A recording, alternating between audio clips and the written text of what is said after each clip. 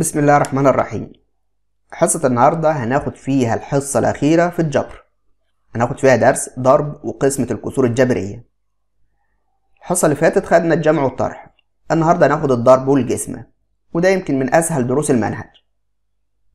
ضرب وجسمة الكسور الجبرية زي ضرب وجسمة الأعداد النسبية. مثلا لو عايزين نضرب ستة على عشرة في خمستاشر على تمانية. كنا بنضربهم إزاي؟ كنت بضرب بسط ببسط ومقام في مقام. مفيش توحيد مقامات في الضرب. ممكن قبل ما تضرب لو عندك اختصار تختصر. تختصر أي بسط مع أي مقام. يعني ممكن أختصر الستة مع العشرة أو الستة مع التمانية لو تقبل. وممكن أختصر العشرة مع الخمستاشر.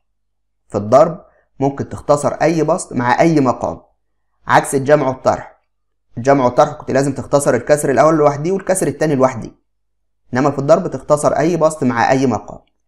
يعني الستة والتمانية أقدر اختصرهم على الاتنين. ستة على الاتنين فيها التلاتة تمانية على الاتنين فيها الأربعة.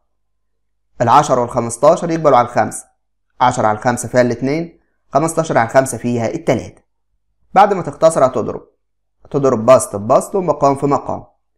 تلاتة في تلاتة بتسعة واتنين في أربعة بتمانية. ده ضرب الأعداد النسبية. نفس الفكرة في ضرب الكسور. عشان تضرب أي كسرين جبريين هتعمل نفس خطوات الجمع والطرح اللي قلناها الحصة اللي فاتت. اللي هو نحلل ونجيب المجال ونحذف المتشابه. بس هترتاح من خطوة توحيد المقامات. الضرب والجسم ما فيهاش توحيد مقامات. انت مجرد بتحذف بس المتشابه. تعال نبدأ أول خطوة نحلل. المقدار الأول اسمه س تربيع زائد 3 س زائد 2 ده مقدار ثلاثي بسيط. نفتح قوسين ونحلل. الس تربيع عبارة عن س في س كام في كام باتنين وتجمعهم يديك تلاتة اتنين في واحد. الإشارة الأخيرة موجب يبقى الإشارات متشابهة مثل الأوسط. موجب وموجب. نحلل المقام س تربيع ناقص تسعة. ده فرق بين مربعين. س تربيع س في س التسعة عبارة عن تلاتة في تلاتة والإشارات واحدة موجب واحدة سالب. نحلل الكسر التاني. الس ناقص تلاتة ما تتحللش تنزل زي ما هي. س زائد اتنين ما تتحللش تنزل زي ما هي. ده أول خطوة التحليل. بعد التحليل على طول المجال. المجال ح ما عدا أصفر المقام.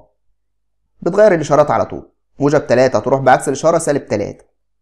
سالب تلاتة نغير إشارتها موجب تلاتة والموجب اتنين نغير إشارتها سالب اتنين. بعد ما تحلل وتجيب المجال تحذف. هتحذف المتشابه. احذف أي قوس في البسط مع أي قوس في المقام. فين المتشابه؟ عندك القوس س زائد اتنين هيروح مع س زائد اتنين. س ناقص تلاتة هتروح مع س ناقص تلاتة. هيتفضل لك في البسط س زائد واحد وفي المقام س زائد تلاتة. يبقى الدالة بعد ما اختصرناها هتساوي س زائد واحد على س زائد تلاتة. يبقى خطوات الضرب تحليل بعد كده مجال بعد كده حذف. مفيش توحيد مقامات. وتقدر تحذف أي بسط مع أي مقام عكس الجمع والطرح. الجمع والطرح لازم تختصر الكسر الأول لوحدي والكسر التاني لوحدي. متنفعش تعزف حاجة من هنا مع حاجة من هنا.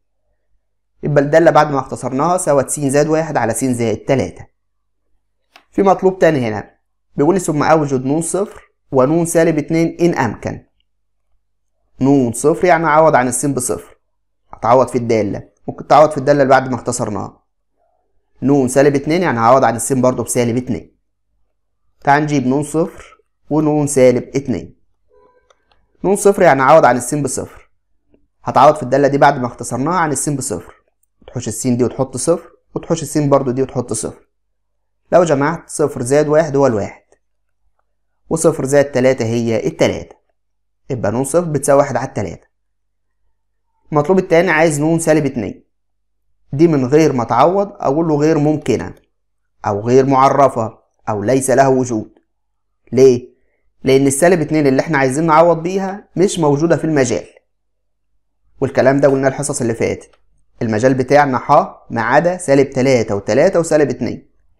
يعني السين تنفع أي عدد حقيقي ما عدا التلات أرقام دول. طب هو بيقول لي أوجد نون سالب اتنين وأنا السالب اتنين مش معايا في المجال يبقى أقول له غير ممكنة أو الدالة ليس لها وجود. قلنا باختصار الرقم اللي أنت هتعوض بيه لو لقيته مكتوب في القوس يبقى الدالة دي ليس لها وجود. أقول له نون سالب اتنين غير ممكنة لأن السالب اتنين لا تنتمي للمجال. ده أول سؤال في الضرب. بس عايزك تلاحظ إن المقادير اللي عندك لازم تكون مترتبة. لو في مقدار مش مترتب لازم ترتبه الأول. زي المثال اللي جاي ده. المثال التاني نفس الفكرة. بيقول لي أوجد ناتج في أبسط صورة مبينة للمجال. مديك كسرين وعايز أضربهم في بعض. هتلاحظ هنا إن كل المقادير اللي عندك مترتبة. ما عدا مقدار هنا اللي هو 36 ناقص س تربيع ده مش مترتب. يبقى قبل ما أبدأ الحل همسك المقدار ده وأرتبه. اسمه 36 ناقص س تربيع. هبدأ بسالب س تربيع وبعد كده 36 يعني هبدلهم مكان بعض. هبدأ بسالب س تربيع وبعد كده موجب 36 ما عملتش حاجة غير إن أنا بدلتهم مكان بعض.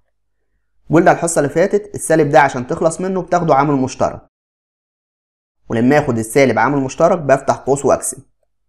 سالب على سالب فيها الموجب. أتفضل لك س تربيع. موجب على سالب فيها سالب. اتفضل لي سالب 36 يبقى إحنا رتبنا وخدنا السالب عامل مشترك. هنسيبنا من 36 ناقص س تربيع دي وهشتغل على سالب س تربيع ناقص 36 هشتغل على اللي أنا رتبته تعال نبدأ خطواتنا. تحليل مجال حذف. س تربيع ناقص 12 س زائد 36 ده مقدار ثلاثي بسيط. س تربيع س في س كام في كام؟ ب 36 وتجمعهم يديك 12 36 6 في 6 الإشارة الأخيرة موجب بالإشارات متشابهة مثل الأوسط. سالب وسالب. مقام س تربيع ناقص 6 س عندك س عامل مشترك. ناخد س ونقسم س تربيع على س فيها الس والسين خدناها عامل مشترك هتفضل لنا الست. الكسر التاني. أربع س زائد أربعة وعشرين. الأربعة والأربعة وعشرين يقبلوا الجسم على أربعة. يبقى هاخد الأربع عامل مشترك. هتقسم خدنا الأربعة اتفضل لك س وأربعة وعشرين على الأربع فيها الست المقام ده سيبنا منه. خلاص بعد ما عدلناه بقى اسمه سالب س تربيع ناقص ستة وتلاتين. هنزل السالب وأحلل ده فرق بين مربعين. هننزل السالب والسين تربيع ناقص ستة وتلاتين دي فرق بين مربعين. س في س ستة في ستة واحدة موجب واحدة سالب. بعد ما حللنا هنجيب المجال.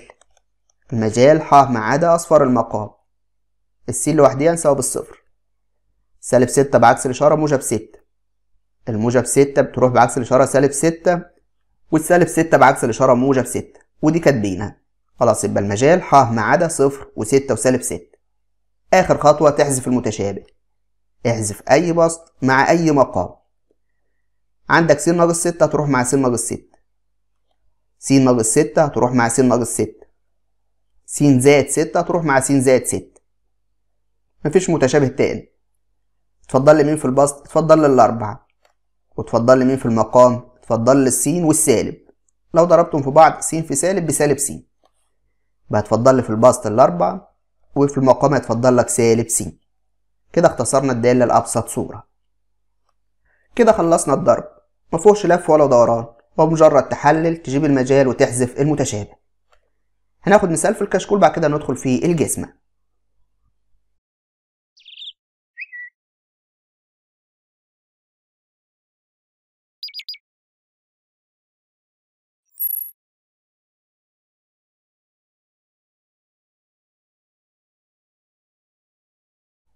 الفكرة التانية معانا في الحصة اللي هي الجسمة جسمة الكسور الجبرية زي الضرب بالظبط.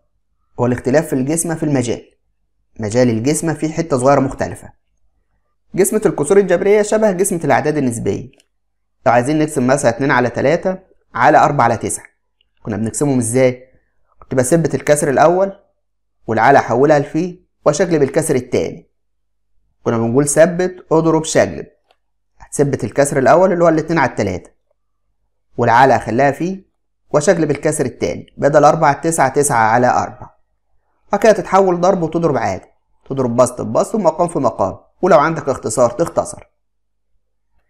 نفس النظام هنا. الجسمة دي هحولها لضرب. بس تعال نحلل ونجيب المجال الأول. س تربيع ناقص اتنين س ناقص خمستاشر. ده مقدار ثلاثي بسيط. الس تربيع س في س كام في كام؟ بخمستاشر. وتطرحهم يديك اتنين. خمستاشر تلاتة في خمسة. وطرحتهم يديك اتنين. الأخيرة سالب يبقى مختلفة. الكبير ياخد اللي في النص الخمسة كبيرة تاخد الإشارة اللي في النص سالب والتاني ياخد عكسه هياخد موجب. س تربيع ناقص تسعة ده فرق بين مربعين. س في س تلاتة في تلاتة واحدة موجب واحدة سالب. العلى نزلها على دلوقتي لما نجيب المجال. اتنين س ناقص عشرة. الاتنين والعشرة يقبلوا على الاتنين فهاخد اتنين عامل مشترك. بعد العامل اكسب خدت الاتنين اتفضل لك س عشرة على الاتنين فيها الخمسة. س تربيع ناقص ستة س زائد تسعة ده مقدار ثلاثي ثلاثي بسيط. س تربيع س في س كام في كام؟ بتسعة وتجمعهم يديك ست تسعة تلاتة في تلاتة. ولو جمعناهم يديك ست الإشارة الأخيرة موجب يبقى الإشارات متشابهة مثل الأوسط. سالب وسالب. كده حللنا. بعد التحليل المجال. المجال اللي متعودين عليه بناخد ح ما عدا أصفار المقام. إنما المجال في الجسم مختلف. بناخد ح ما عدا أصفار المقام زائد بسط الكسر التاني. بناخد أصفار المقام عادي لكن بزود أصفار البسط التاني. يعتبر بنقول له إن البسط ده ما ينفعش يكون صفر. ليه؟ إنه لو كان صفر صفر على أي حاجة هي الصفر. والقسمة على صفر ليس لها معنى. لو قسمنا الكسر ده على صفر ليس له معنى. المهم المجال هتجيب ح ما عدا أصفار المقام عادي بس تزود البسط الكسر التاني. يبقى ح ما عدا. أصفار المقام. سالب تلاتة بعكس الإشارة موجب تلاتة. الموجب تلاتة بعكس الإشارة سالب تلاتة. سالب تلاتة موجب تلاتة ودي كاتبينها برضه سالب تلاتة موجب تلاتة كاتبينها هنزود بسط الكسر التاني.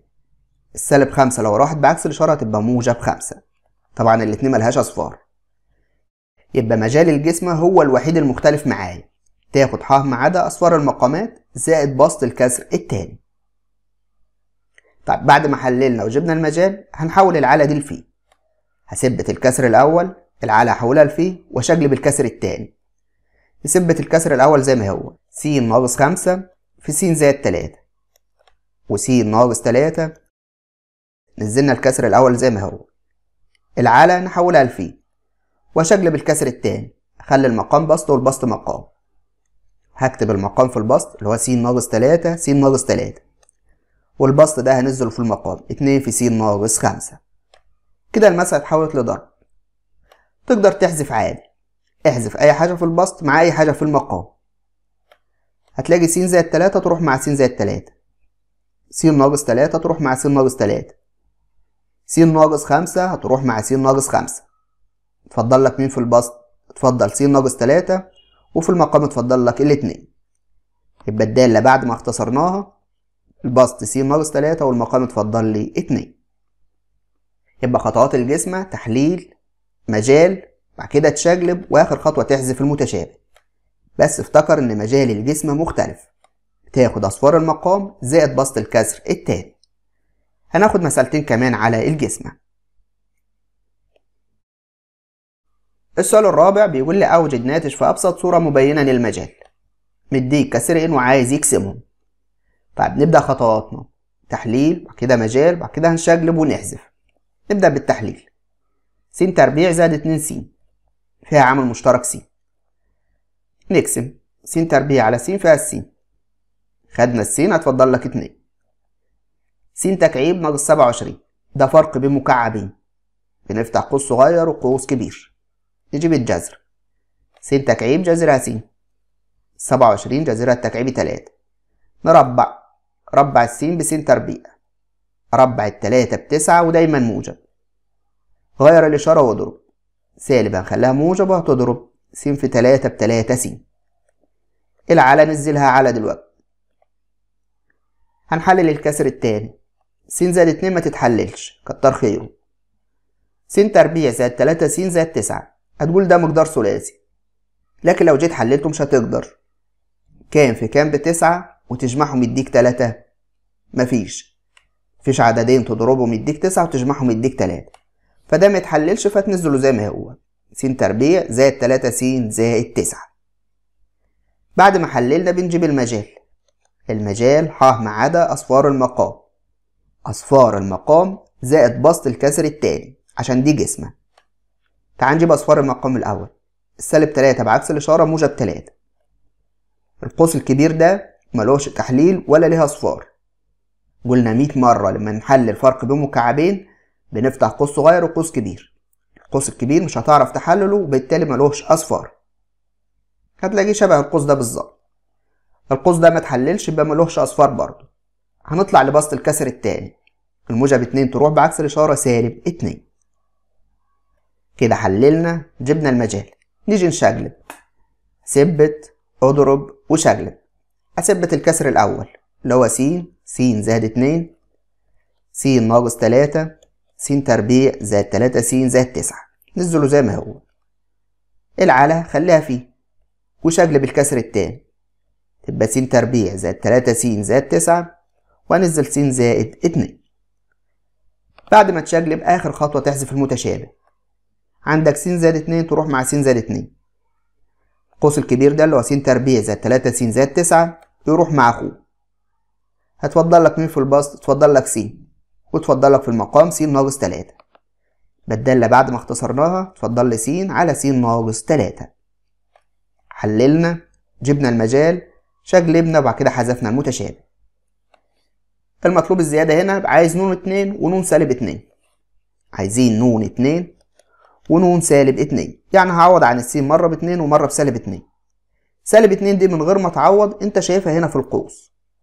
سالب اتنين اللي انت هتعوض بيها دي شايفها في القوس. يبقى أقول له على طول غير ممكنة أو غير معرفة. ليه غير ممكنة؟ لأنها لا تنتمي للمجال. المجال بتاعنا ح يعني ينفع أي عدد حقيقي ما عدا التلاتة والسالب اتنين. طب هو بيقول لي هات سالب اتنين فأقول له غير ممكنة. نون اتنين. نون اتنين يعني عوض عن السين باتنين. هنا نعوض عادي. هتحوش السين دي وتحط اتنين والسين دي برضو تحط بدلها اتنين. أي سين تعوض عنها بالرقم اللي هم بيقول لك عليه. لو عوضت السين اللي فوق باتنين وهنا هتطرح اتنين ناقص تلاتة بسالب واحد. اتنين على سالب واحد فيها السالب اتنين. يبقى نون اتنين بتساوي سالب اتنين. ناخد آخر سؤال في الجسمة السؤال الأخير معانا في الجسمة وده بس عشان نثبت بيه المعلومة مديك كسرين وعايز يقسمهم بالمناسبة كان عندي طالبة شاطرة كانت بتسألني أعرف المسألة ضرب ولا جسم ولا جمع ولا طرح منين. سؤال عجيب. بتعرفها من العلامة اللي في النص هنا. لو زاد هتجمعي لو طرح هتطرحي لو ضرب هتضربي لو جسم هتقسمي يعني سبحان الله واضحة. المهم عايز أقسم الكسرين دول. تعال نبدأ في الأول نحلل. س تربيع ناقص تلاتة س دي فيها عامل مشترك س س تربيع على س فيها الس وخدنا السين عامل مشترك هتفضل لك التلاتة. اتنين س تربيع ناقص س ناقص ستة ده مقدار ثلاثي غير بسيط. عشان في عدد قبل السين تربيع فده مقدار ثلاثي غير بسيط. اللي إحنا هنحلله بالمقص نعملها على هامش هنا. هنحلل الاتنين س تربيع عبارة عن اتنين س في س نجرب الستة دي. يا إما اتنين في تلاتة تلاتة في اتنين واحد في ستة ستة في واحد. لو جربت اللي هتنفع معاك تلاتة في اتنين. تعال لو ضربت اتنين في اتنين بأربع س وتلاتة في س بتلاتة س لو طرحت دول هتطرحهم عشان الإشارة الأخيرة سالب. لو طرحت دول أربع س ناقص تلاتة س واحد س فعلا اداني واحد س اللي هو الحد اللي في النص. طب عايز أعرف الإشارات. الإشارة الأخيرة سالب فالإشارتين مختلفين. الكبير ياخد اللي في النص. بس بنقول الكبير بعد الضرب. في المقص الكبير بعد الضرب. الكبيرة التلاتة ولا الاتنين؟ الاتنين معاها اتنين هنا. اتنين في اتنين بأربعة. تلاتة معاها واحد. تلاتة في واحد بتلاتة. يبقى الكبير بعد الضرب هو الاتنين. اتنين في اتنين بأربعة هي الكبيرة. فالاتنين هتاخد الإشارة اللي في النص. الإشارة اللي في النص سالب والتلاتة هتاخد عكس هتاخد موجب. ناخد الاتنين اللي فوق في قوس والاتنين اللي تحت في قوس. يبقى بعد ما حللناها الأقواس اتنين س زائد تلاتة وس ناقص اتنين. العلى نزلها على. اتنين س تربيع ناقص تلاتة س في عامل مشترك عندك اللي هو السين. ناخد س عامل. هنزل الاتنين والسين تربيع خدنا منها س اتفضل لك س والسين دي خدناها عامل هتفضل لك تلاتة. أربع س تربيع ناقص تسعة. ده فرق بين مربعين. نفتح قوسين. الأربع س تربيع عبارة عن اتنين س في اتنين س التسعة تلاتة في تلاتة والإشارات واحدة موجب واحدة سالب بعد التحليل بتجيب المجال. مجال ح ما عدا أصفار المقام. المقام زائد بسط الكسر التاني. تعال نجيب أصفار المقام الأول. الموجب تلاتة لو راحت بعكس الإشارة سالب تلاتة. لكن في اتنين قبل السين عشان تخلص منها اقسم عليها لو عايز تعملها هنا بالخطوات هي اسمه اتنين س زائد تلاتة. أصفار المقام يعني المفروض نساويها بالصفر. الموجب تلاتة هتروح بعكس الإشارة. يبقى اتنين س بتساوي سالب تلاتة. عشان تخلص من اتنين أقسم هنا على الاتنين وهنا على الاتنين يبقى هتساوي سالب تلاتة على الاتنين السالب اتنين دي هتروح بعكس الإشارة موجب اتنين. الموجب تلاتة هتروح بعكس الإشارة سالب تلاتة. وهقسم على الاتنين هتبقى سالب تلاتة على الاتنين ودي كاتبينها سالب تلاتة بعكس الإشارة موجب تلاتة. عشان تخلص من الاتنين تقسم على اتنين. نطلع للبسط. السين هنساويها بالصفر. السالب تلاتة بعكس الإشارة موجب تلاتة. ونقسم على الاتنين هتبقى تلاتة على الاتنين ودي كاتبينها بحللنا جبنا المجال. هنشقلب. نثبت الكسر الأول العلى هحولها لفي واقلب الكسر التاني. الكسر الأول س في س ناقص تلاتة. واتنين س زائد تلاتة في س ناقص اتنين. العلى حولها لفي وشقلب الكسر التاني؟ اتنين س زائد تلاتة اتنين س ناقص تلاتة. وس اتنين س ناقص تلاتة. آخر خطوة أحذف المتشابه. عندك اتنين س ناقص تلاتة تروح مع اتنين س ناقص تلاتة. اتنين س زائد تلاتة تروح مع اتنين س زائد تلاتة. السين هتروح مع السين. هتفضل لك في البسط س ناقص تلاتة وفي المقام س ناقص اتنين. يبقى بعد ما حذفنا هيتفضل لي س ناقص تلاتة على س ناقص اتنين. كده خلصنا الجسمة. هناخد مثال في الكشكول ونختم بخواص الضرب.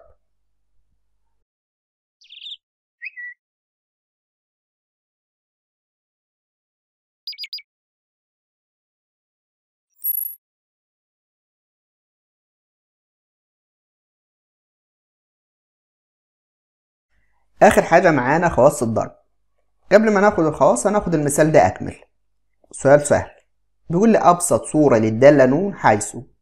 ن س بتساوي تلاتة س على س زائد واحد على س على س زائد واحد. يعني هو عايز يكسب الكسرين دول. عايز يكسبهم وكمان عايز المجال. طب في الجسم أول خطوة نحلل. لو تلاحظ مفيش حاجة هنا تتحلل. تلاتة س والسين زائد واحد والسين والسين زائد واحد مفهومش تحليل. فهو ريحنا من خطوة التحليل. بعد التحليل بنجيب المجال على طول. بعد التحليل المجال. مجال ح ما عدا أصفار المقام زائد بسط الكسر التاني عشان دي جسمة يبقى لو هنجيب المجال ح ما عدا أصفار المقام. وأدي الموجب واحد بعكس الإشارة سالب واحد. الموجب واحد بعكس الإشارة سالب واحد كاتبينه. ونطلع لبسط الكسر التاني. السين هيساوي صفر. يبقى المجال ح ما عدا سالب واحد وصفر. طب هو عايز اختصارها لأبسط صورة. هثبت الكسر الأول والعالة هخليها فيه واشقلب الكسر التاني. هنزل تلاتة س على س زائد واحد.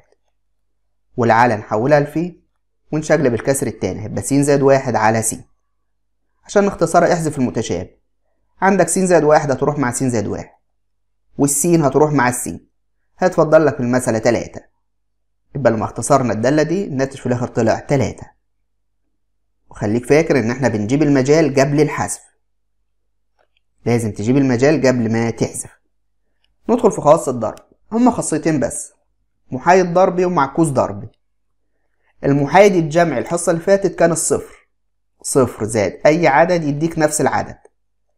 أما المحايد الضرب لأي كسر جبري هو الواحد. المحايد الجمع الصفر أما المحايد الضرب الواحد. واحد لو ضربته في أي عدد يديك نفس العدد. لذلك بنسميه محايد ضربي الواحد مش هيأثر معايا في الضرب. فدي تجينا أكمل. المحايد الضرب هو الواحد. المعكوس الجمع الحصة اللي فاتت كنا بنغير الإشارة. لو موجب نخليه سالب. لو سالب نخليه موجب. أما المعكوس الضرب بنشقلب. لو اداك كسر بتشقلبه. تخلي المقام بسط والبسط مقام. الدالة اسمها نون س بتساوي س زائد تلاتة على س ناقص اتنين. عايز معكوسها الضربي المعكوس الضربي ليه رمز. اسمه نون أس سالب واحد. أول ما تشوف سالب واحد فوق الدالة تعرف إنه رمز المعكوس الضربي الدالة نفسها اسمها نون س أما نون أس سالب واحد ده اللي هو رمز المعكوس الضربي فإحنا هنجيب المعكوس الضربي للدالة دي. اسمها س زائد تلاتة على س ناقص اتنين. لما تشقلبها تبقى س ناقص اتنين على س زائد تلاتة. طيب في نفس المسألة عايزين نون خمسة وعايزين نون أس سالب واحد تلاتة. نون خمسة يعني هتعوض عن السين بخمسة. بس هتعوض فين؟ هتعوض في الدالة نفسها. إن هنا بيقول لك نون. نون خمسة والدالة اسمها نون س فهتعوض في الدالة نفسها. أما ن أس سالب واحد تلاتة برضه هتعوض عن الس بتلاتة. بس هنعوض فين؟ هنعوض في المعكوس الضربي. إن هو بيقول لك ن أس سالب واحد ده رمز المعكوس الضربي. يبقى ن خمسة عوض عن الس بخمسة. عوض في الدالة نفسها. حوش السين ده وحط خمسة وحوش السين دي برضه وحط خمسة. أي سين تجاب لك عوض عنها بخمسة. لو عوضت خمسة زائد تلاتة بتمانية. وهنا خمسة ناقص اتنين بتلاتة. يبقى ن خمسة بتساوي تمانية على التلاتة. عوضنا في الدالة نفسها. هنا عايز ن أس سالب واحد تلاتة. يعني عوض عن السين بتلاتة. بس هتعوض في المعكوس الضربي. عشان هو بيقول ن أس سالب واحد. هتعوض عن السين دي بتلاتة والسين دي برضه بتلاتة. كل سين تعوض عنها بتلاتة. تعال نعوض. تلاتة ناقص اتنين بواحد. وتلاتة زائد تلاتة بستة. يبقى ن أس سالب واحد تلاتة بتساوي واحد على ستة. آخر ملحوظة هنا في فرق بين مجال الدالة نفسها ومجال المعكوس الضرب ليها. مجال الدالة مختلف عن مجال المعكوس الضربي مجال أي دالة قانونه ح ما عدا أصفار المقام. أما مجال المعكوس الضربي قانونه ح ما عدا أصفار المقام والبسط. في مجال المعكوس الضربي بتجيب أصفار المقام والبسط. يعني الدالة الأصلية عايزين نجيب لها المجال. المجال ح ما عدا أصفار المقام. سالب اتنين تروح بعكس الإشارة هتبقى موجب اتنين. دي مجال الدالة نفسها. إنما لو طلب منك مجال المعكوس الضربي بيساوي ح ما عدا أصفار المقام والبسط. تاخد البسط والمقام مع بعض. يبقى المجال ح ما عدا لو أديت الموجب تلاتة سالب تلاتة. وهنودي السالب اتنين بموجب اتنين. يبقى المجال ح ما عدا سالب تلاتة وموجب اتنين. فحاول تفرق بين المطلوبين. مجال أي دالة دي اللي إحنا متعودين عليها ح ما عدا أصفار المقام. أما مجال المعكوس الضربي بتاخد المقام والبسط. هلخص لك الكلام اللي قلناه هنا. لما يديك أي دالة ويطلب منك المعكوس الضرب بتشقلبها بدل ما س زائد تلاتة على س ناقص اتنين تبقى س ناقص اتنين على س زائد تلاتة. رمز المعكوس الضرب اللي هو ن سالب واحد. لو طلب منك ن خمسة يعني تعوض عن السين بخمسة بس تعوض في الدالة الأصلية. لو طلب ن أس سالب واحد تلاتة هتعوض عن السين بتلاتة بس تعوض في المعكوس. لو عايز مجال الدالة نفسها ح ما عدا أصفار المقام. أما مجال المعكوس الضربي بتاخد ح ما عدا أصفار المقام والبسط. هنختم الحصة بمثال مهم. آخر سؤال معانا في الحصة مديك دالة اسمها ن س بتساوي. س تربيع ناقص اتنين س على س تربيع ناقص تلاتة س زائد اتنين. دي الدالة الأصلية. عايز منها مطلوبين. المطلوب الأول عايز ن أس سالب واحد س خلاص اتعودنا إن ن أس سالب واحد دي رمز المعكوس الضرب. عايز المعكوس الضرب للدالة دي في أبسط صورة. وعين مجاله. عايز المعكوس الضربي ومجال المعكوس الضرب. طب المعكوس الضربي يعني نقلب الدالة. أجيب البسط مقام والمقام بسط. لما تشقلب هتبقى س تربيع ناقص تلاتة س زائد اتنين وس تربيع ناقص اتنين س بدلت المقام مكان البسط. طب هو عايزها في أبسط صورة. حتى لو مجالكش في أبسط صورة فأنت لازم تختصرها وتخليها في أبسط صورة. عشان تكون في أبسط صورة هنحللها ونحذف المتشابه. لما نحلل البسط البسط ده مقدار ثلاثي. ثلاثي بسيط. س تربيع س في س كام في كام؟ باتنين وتجمعهم يديك تلاتة. اتنين في واحد. الأخيرة موجب الإشارات متشابه سالب وسالب. س تربيع ناقص اتنين س فيها عامل مشترك السين عامل. س تربيع خدنا س اتفضل لك س والسين دي خدناها اتفضل لك اتنين. كده حللنا. هنحذف المتشابه. بس قبل ما تحذف هتجيب المجال. المجال قبل الاختزال. عشان كده كده هو عايز مجال المعكوس الضربي إحنا هنا هنجيب مجال معكوس ضربي ح ما عدا أصفار المقام والبسط. عشان إحنا هنجيب مجال المعكوس الضربي للدال. أصفار المقام السين بتساوي صفر. والسالب اتنين بعكس الإشارة موجب اتنين. سالب اتنين موجب اتنين والسالب واحد موجب واحد. يبقى مجال المعكوس الضربي ح ما عدا صفر واتنين وواحد. كده تقدر تحذف. س ناقص اتنين هتروح مع س ناقص اتنين. هيتفضل لك فوق س ناقص واحد على س ده كده اللي هو المعكوس الضرب في أبسط صورة. يبقى دي الدالة الأصلية عشان نجيب لها المعكوس الضربي جلبتها. شقلبناها حللناها وحذفنا المتشابه. بس لازم تجيب المجال قبل الحذف. المطلوب التاني حلو. بيقول إذا كان ن أس سالب واحد س يساوي تلاتة. عايز قيمة س. ن أس سالب واحد س اللي هو المعكوس الضربي. بيقول لك لو كان المعكوس الضربي يساوي 3 عايزين قيمة س. هو فين المعكوس الضربي؟ المعكوس الضربي اللي إحنا اختصرناه ده اللي هو س ناقص واحد على س. بيقول لك لو كان بيساوي 3 عايزين قيمة الس فأنا همسك المعكوس الضربي اللي إحنا جبناه اللي هو س ناقص واحد على س وهساويه بتلاتة نون أس سالب واحد س اللي هو المعكوس الضرب اللي إحنا جبناه. قال لك بيساوي تلاتة فأنا ساويته بتلاتة. عايز قيمة س عشان نجيب قيمة الس هنضرب مقص تلاتة دي يعتبر مقامها واحد. هتضرب تلاتة في س واحد في س ناقص واحد. تلاتة في س بتلاتة س يساوي واحد في س ناقص واحد هي بعينها س ناقص واحد. وتعملها معادلة. هتودي السين عند السين بعكس الإشارة. سيب التلاتة س الموجب س تروح بعكس الإشارة تبقى سالب س وهيتفضل لي هنا سالب واحد.